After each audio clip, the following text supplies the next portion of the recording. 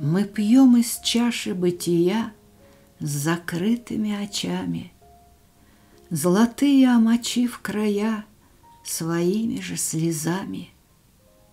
Когда же перед смертью с глаз Завязка упадает, И все, что обольщало нас, Завязка исчезает, Тогда мы видим, что пуста Была золотая чаша — что в ней напиток был мечта, и что она не наша.